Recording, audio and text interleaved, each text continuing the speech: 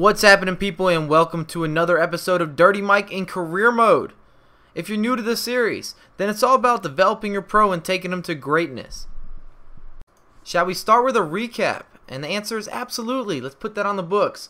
So in the previous installment, I received an offer from Benfica. It was a little bit unexpected. I don't think that I get too many transfer offers without me initiating that transfer. But this has been a little bit different. I think that Inter Milan feels a certain type of way about me as a player. They spent a bunch of money during the transfer window. They brought me in from Real Madrid, and boom, broken ankle, missed the majority of the season. And I think they're just ready to cut their losses and try to ditch me. I do want to stay and show the fans that I can be loyal, I can show up, I can play at the highest level. But I asked you guys in the comment box in the previous episode, and some of you guys were like, hey, shoot on over to Portugal. Let's go. Let's do some work at Benfica. Other people were like, nah, stay with Inter Milan. And then others are saying, hit that stall button. So for now, I've hit that stall button.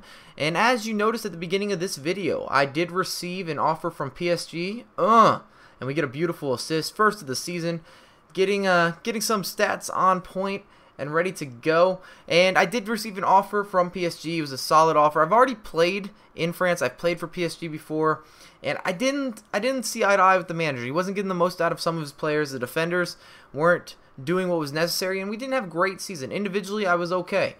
But you can let me know once again in the comment box. Feel free to hit me in there and tell me what's real in life. Should I make a move to PSG?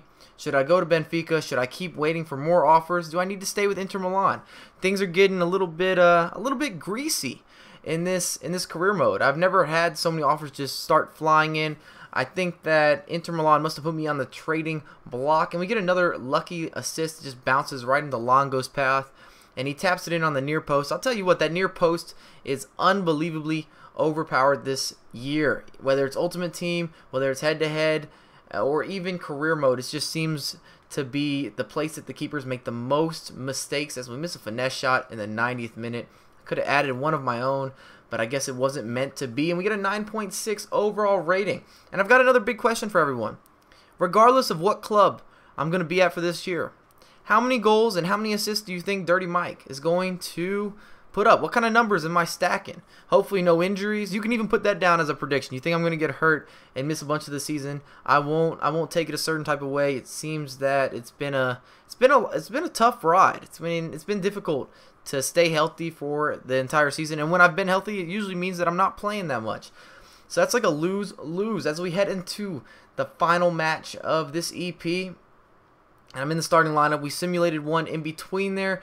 I think that the manager said that I was looking a little bit tired, that my fitness bar was not in the right spot. He was like, just take a sit down, just chill on the bench, make some jokes with your teammates, and, cheer on the guys that are on the pitch. And I was like, all right, player, all right, I'll, I'll watch. I'll watch this game.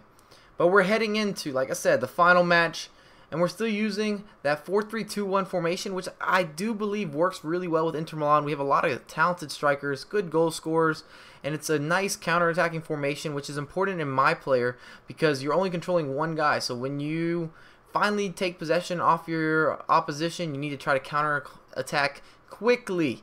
And I am playing on Legendary. A couple people have been asking me. I don't know anything about sliders and stuff like that, but I don't think my stats are really amazing, so it shouldn't be one of those things where you have to ask me about sliders. We just dropped a dime. Look at that beautiful finish.